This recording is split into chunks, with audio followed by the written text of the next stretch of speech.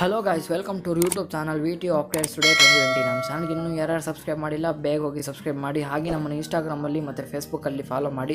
ನಮ್ಮ ಡಿಸ್ಕ್ರಿಪ್ಷನ್ ಬಾಕ್ಸಲ್ಲಿ ಲಿಂಕ್ ಇದೆ. ನಾವೆಲ್ಲರ ವಿಚಾರದಲ್ಲಿ ನಿಮ್ಗೆ ಏನೋ ಡೌಟ್ ಇದ್ದರೂ ನಮಗೆ ಡಿ ಎಂ ಮಾಡಿ ಇನ್ಸ್ಟಾಗ್ರಾಮಲ್ಲಿ ನಾವು ನಿಮಗೆ ರಿಪ್ಲೈ ಮಾಡ್ತೀವಿ.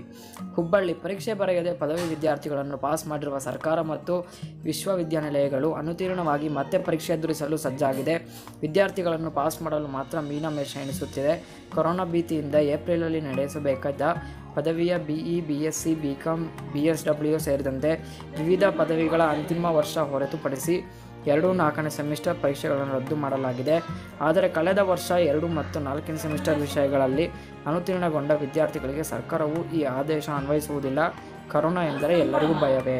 ಸರ್ಕಾರ ಮತ್ತು ವಿಶ್ವವಿದ್ಯಾನಿಲಯಗಳು ವಿದ್ಯಾರ್ಥಿಗಳಲ್ಲಿ ತಾರತಮ್ಯ ನೀತಿ ಅನುಸರಿಸುತ್ತಿವೆ ಎಂದು ಈ ವಿದ್ಯಾರ್ಥಿಗಳಿಂದ ಆಕ್ರೋಶ ವ್ಯಕ್ತಪಡಿಸಲಾಗಿದೆ. ಸರ್ಕಾರ ಮತ್ತು ವಿಶ್ವವಿದ್ಯಾನಿಲಯಗಳ ಈ ಆದೇಶದಿಂದ ಕೆಲವು ವಿದ್ಯಾರ್ಥಿಗಳಿಗೆ ಸಿಹಿ ನೀಡಿದರೆ ಸೆಮಿಸ್ಟರ್ನಲ್ಲಿ ವಿಷಯಗಳನ್ನು ಬಾಕಿ ಉಳಿಸಿಕೊಂಡ ವಿದ್ಯಾರ್ಥಿಗಳಿಗೆ ಮಾತ್ರ ಕಹಿ ಅನುಭವ. ಎಲ್ಲ ವಿವಿಗಳಿಗೂ ಸಮಸ್ಯೆ. ಎರಡು ಮತ್ತು ನಾಲ್ಕನೇ ಸೆಮಿಸ್ಟರ್ ಬ್ಯಾಕ್ಲಾಗ್ ಉಳಿಸಿಕೊಂಡ ಸಾವಿರಾರು ವಿದ್ಯಾರ್ಥಿಗಳು ಅತಂತ್ರ ಸ್ಥಿತಿಯಲ್ಲಿದ್ದಾರೆ. ಈ ಸಮಸ್ಯೆ ಕೇವಲ ಒಂದು ವಿಶ್ವವಿದ್ಯಾನಿಲಯದಲ್ಲ, ಹಲವಾರು ವಿಶ್ವವಿದ್ಯಾನಿಲಯದು ಕಳೆದ ವರ್ಷ ಎರಡು ನಾಲ್ಕು ಸೆಮಿಸ್ಟರ್ ಗೋಲುವದ ವಿದ್ಯಾರ್ಥಿಗಳಿಗೆ ಮುಂದಿನ ವರ್ಷ ಈ ಪರೀಕ್ಷೆ ಬಗ್ಗೆ ಚಿಂತಿಸುತ್ತಿದ್ದಾರೆ. ಇದೇ ಥರ ಎಜುಕೇಷನ್ ಅಪ್ಡೇಟ್ಸ್ಗಾಗಿ ತಪ್ಪದೆ ನಮ್ಮ ಚಾನಲ್ ಈಗಲೂ ಹೋಗಿ ಸಬ್ಸ್ಕ್ರೈಬ್ ಮಾಡಿ, ಈ ಥರ ಅಪ್ಡೇಟ್ಸ್ ನಾವು ನಿಮಗೆ ತುಂಬ ಕೊಡ್ತಿರ್ತೀವಿ. ಬರೀಬೇಕು ಎಂದು ಸರ್ಕಾರ ಹೇಳಿದ್ದು ಇವರಿಗೆ ಆತಂಕ ಉಂಟು ಮಾಡಿದೆ. ಕರೋನಾ ಉಲ್ಬಣಿಸುತ್ತಿರುವ ಇಂತಹ ಸಮಯದಲ್ಲಿ ಪರೀಕ್ಷೆ ಬರೆಯುವುದು ಸರಿಯಾಗಿ ಬರುವುದಿಲ್ಲ.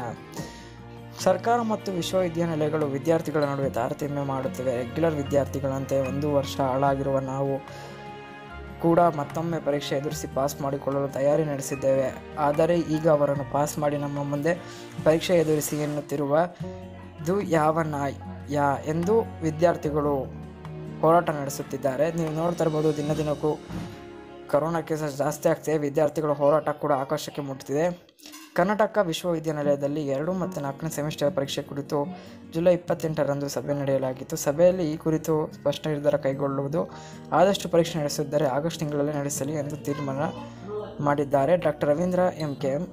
ಕುಲಸಚಿವರು ಹೇಳಿದ್ದಾರೆ. ಕಾವಿವಿ ಧಾರವಾಡ. ಇದೇ ಥರ ಎಜುಕೇಷನ್ ಅಪ್ಡೇಟ್ಸ್ಗಾಗಿ ತಪ್ಪಿ ನಮ್ಮ ಚಾನಲ್ಗೆಲ್ಲ ಸಬ್ಸ್ಕ್ರೈಬ್ ಮಾಡಿ ಹಾಗೆ ನಮ್ಮ ಇನ್ಸ್ಟಾಗ್ರಾಮಲ್ಲಿ ಕೂಡ ಫಾಲೋ ಮಾಡಿ.